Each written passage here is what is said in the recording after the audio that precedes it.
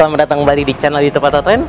Saya seperti biasa Doni Darwin akan mereview salah satu motor modifikasi bergaya mungkin yang bisa dibilang baru yaitu Rookies Daily Taillook Style. Ini salah satu motor garapan dari Montok Matic Shop. Biasanya eh, yang digarap oleh Montok Matic Shop itu motor andalannya lewat Scoopy. Namun kali ini motornya beda yaitu Yamaha Miosol. Motor modifikasi kali ini yang dimodif lebih simple, minimalis, eh, lebih enaknya langsung kita panggil saja yang punya motornya ini Yusuf. Langsung saja Yusuf bisa merapat. Di gimana kabar Yusuf? Baik, Alhamdulillah baik Yusuf ini biasanya motornya Scoopy eh, beraliran novice style look. Ke mana sih eh, untuk Scoopy-nya Y- Yusuf? kopinya lagi di preparein lebih matang lagi. Lebih matang lagi ya. Oke, mungkin sebelum kita bahas tentang motor ini bisa sapa dulu nggak teman-teman? Eh, nama saya Yusuf Bahtiar dari Montok Matic Shop eh, Cibinong.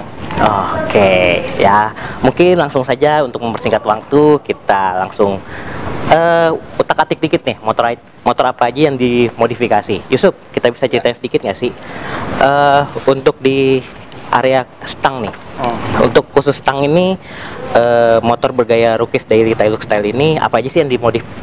Eh, untuk spion bagian ini eh, pakai standar di chrome, Oke, eh, ditambah di karbon lagi, karbon ulang. Untuk bandulnya kita pakai stainless hang, eh, gripnya pakai pakai fresh back, oke, ditambah handle R- RCB handle RCB. sama busa pemanisnya auto trend. Ah, Oke, berarti kalau untuk pemanisnya ini lebih diutamain warna biru sebenarnya ya? Ya, warna biru. Oke, ah, kalau untuk di gas spontan sendiri, Gas spontan kita pakai morin. pakai morin. Ya. Kenapa di, dirubah eh, pakai morin? Untuk penampilan lebih enak ya dilihatnya. Eh, untuk fungsional juga enteng. Buat harian juga oke lah. Oke, kalau misalnya untuk tali gasnya ini pakai apa? Tali gas pakai model serat karbon. Model serat karbon. Berarti eh, eh, pakai yang dua ya? Pakaian dua. Dua-duanya aktif nih berarti? Cuman satu aja. Oh, satu aja. Iya, Oke. cuman satu. Ah, kalau misalnya untuk di sebelah kiri nih, untuk eh, saklar sendiri ada yang dimodif nggak? Saklar kita pakai standar Oke. sesuai bawaan motornya.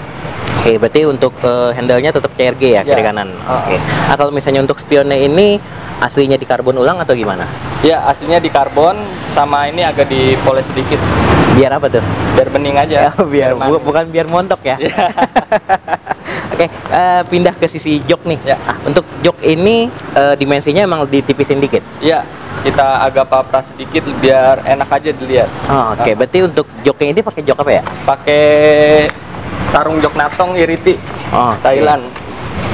Boleh tahu ha- untuk pasarannya ini berapa sih harga untuk jok kayak gini? Harganya murah 100 ribuan. Oh, Oke, Ah. berarti eh, cocok banget untuk Rookies Daily ya Iya, sebenarnya ya. cocok. Ah, untuk pengerjaan eh, Rookies Daily Taillook Style ini, eh, Yusuf, pengerjaan berapa lama? Kurang lebih satu bulan pengerjaan Satu bulan pengerjaan dengan gaya gini. Sendiri berarti pengerjaannya? sendiri. Oh, sendiri. Sendiri atau bareng kru nih? Ya barang kru lah. Iya, masa krunya nggak dibawa? Iya. Ah, kalau untuk body ini pengerjaan di mana? pengerjaan di Hambalang. Di Hambalang ya. Untuk HRT Project. Oh, HRT. Itu HRT di mana-mana sekarang ya? Iya. Untuk catnya tahu nggak? Eh, pakai bahan apa? Rahasia dapur katanya. Oh, rahasia dapur ya. Berarti nggak bisa disebutin Iya, ya. nggak Jadi kalau misalnya pengen ini bisa langsung ke montok Iya. mungkin ya. Bisa langsung saya apa ke lokasinya langsung lah. Oh, Oke. Nah, kalau untuk strippingnya, ah ini stripping pakai Ultimo ini eh, ide siapa sih sebenarnya? Ini the tukang strippingnya sih.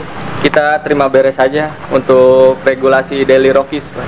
Oke, eh, pengerjaan di siapa untuk stripping? Eh, Alipka Grafik Di mana? daerah Jawa Timur.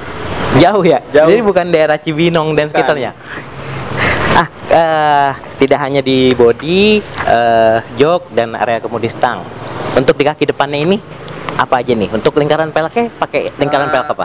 Untuk ring make ring Jinpei ukuran 120 depan belakang. Jinpei ukuran 140 ya, dep- depan belakang nih. Ya, depan belakang. Kalau untuk jari-jarinya, Jari-jari TDR. jari-jari TDR untuk tromol tetap mempertahankan orinya ya. Iya. Paling di repaint ulang lagi Iya, aja ya. Oke, kalau misalnya untuk suspensi juga sama. Eh, disnya make Nissin. Untuk suspensi, Suspensi. eh, shock breaker Oh, shock breakernya juga standar. yang belakang Yang belakang SOA non style, u- eh, warna apa? warna merah. Oh, warna merah. Untuk shock belakangnya soa eh, dengan warna merah lengkap dengan pemanis damper Ya. warna birunya ya. Biar catching banget ya. Iya. Iya. Biar manis. ah, ma- manis sih siapa sih? Kayak dia, Mas. iya kayak dia. Ah, untuk piringan cakram nih, piringan cakram pakai piringan cakram apa nih? Eh, piringan kita make Nissin ukuran 220. 220. Ah. Oke, untuk kalipernya Kalipernya kita make Brembo 2 piston. dua piston. Kalau Iya. untuk selang rem ya? Selang rem kita pakai Morin. pakai semorin. Ah, Untuk eh, sebagai detail ini sengaja emang baut-baut probot atau gimana? Ya, bautnya Probot cuman warnanya agak berbeda stainless di kita Oh, makanya. warna stainless ya. Kalau biasanya kan lebih dominan warna gold ya. Ya. Berarti ini bermain dengan lebih simpel lah ya. ya, lebih simple.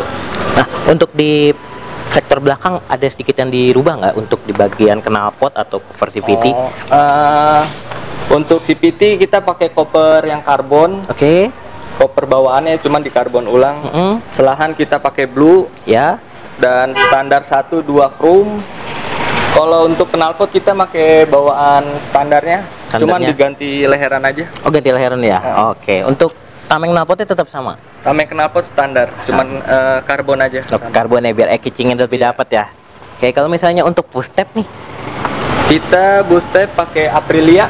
Aprilia. Berarti eh, ngindarin nuansa over blue Iya, jatuhnya ya. over blue. Biar jadi biar nggak monoton dengan warna Iya. biru, diimbangin dengan ya sentuhan chrome ya. Ya, setelah Nah, untuk di pengerjaan Rookies Daily Taillook Style ini menghabiskan eh, waktu berapa lama untuk pengerjaan modif tadi? Eh, kurang lebih sebulan. Kurang lebih sebulan. Ah, kenapa eh, ngejar Rookies Daily? Karena kan mindsetnya montok biasanya kan novice Taillook nih. Karena ya ini kan kelas baru, kita wajib ngeramein. Ngeramein ya pasti ya. Ibaratnya untuk pangsa pasar juga lah ya. Pasar. Sama pengerjaan ini tingkat kesulitan ada nggak sih Kalau tingkat kesulitan mungkin PR di body sih dia. di body ya? Kenapa tuh? Body kan kadang-kadang trouble-nya tuh eh, ada yang nitik, Ada yang nitik ya? Berarti vernisnya bleber kayak gitu. berarti sempat di sedikit dipoles lah ya. Iya, sedikit dipoles. Nah, untuk di area motor ini kem- belum lama ikut kontes modifikasi ya, Ya. kalau nggak salah Ucup. ya. Nah, Uh-uh. kontes modifikasi itu di yang ngadain wadah modifikasi Cibinong si Ucup sebagai montok Matic Shop ini turun ya. Turun. Nah, turun. Ini eh untuk dilihat dari sudut pandang Ucup kelas Rookies Daily itu gimana? Kemarin kan ngeliatnya kan Kelas Rockies Daily untuk kemarin antusiasnya sangat ramai ya. Kurang lebih itu 10 motor lebih itu. Iya, 10 Padahal motor. kelas baru ya Iya. gitu. eh, greget nggak gimana sih kalau untuk Rookies Daily? Iya, lebih greget lah lawannya juga. Jadi soalnya tidak hanya di daerah Cibinong aja ya Iya. soalnya lawan-lawan Luar daerah ya. juga banyak. Ah, kalau misalnya untuk di motor emang sengaja dikasih pemanis bunga ini atau Iya, gimana? Sengaja biar lebih enak aja lah dilihat. Ah, eh Yusuf kasih tahu dong eh bengkel Yusuf itu lokasi di mana sih? Untuk daerah Montok Matic Shop, eh, daerah Cibinong, tepatnya di stasiun Cibinong, Pabuaran, RT 11 RW 5, sebelum Gang Bedol. Ntar di situ adalah spanduknya. Montok Magic Shop. Oke, kalau misalnya teman-teman yang pengen mampir atau pengen ngubungin nih nomornya di, berapa sih? Nomornya nomor WA 0877 2347 6056. Satu nomor aja kan? Satu nomor Ya, aja. Oke, dan takutnya ntar ini nomor ter ke mana-mana ntar nomornya. Oke. Ah, Yusuf kasih pesan dikit dong atau sudut pandang dari Yusuf sendiri nih dunia modifikasi khususnya di daerah Cibinong sendiri itu gimana sih? Eh, antusiasnya sangat banyak ya Hmm. untuk daerah Cibinong. Oke.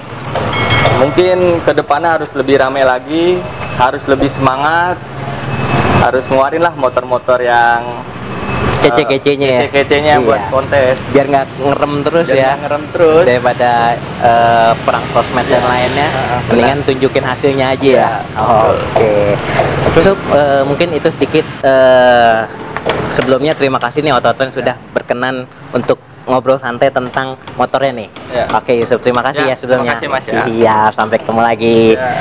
Oke, eh, itu sedikit review motor kali ini bergaya Rukis Daily Tailuk Style dengan ubahan modifikasi yang lebih minimalis untuk budget pun yang tidak terlalu mahal atau yang menguras biaya gede karena untuk ubahannya cukup minimalis. Mungkin itulah sedikit review motor kali ini. Mungkin ini motor bisa jadi referensi modifikasi kalian untuk bergaya Rukis Daily Tailuk Style atau Tailuk pemula mungkin. Eh, sekian eh, mungkin jika suka dengan video ini jangan lupa like, subscribe dan komen ya. Jangan lupa mampir ke webnya Ototrend di www.ototrend.com. Sampai ketemu lagi di video selanjutnya. Salam Hypercrea Nusantara.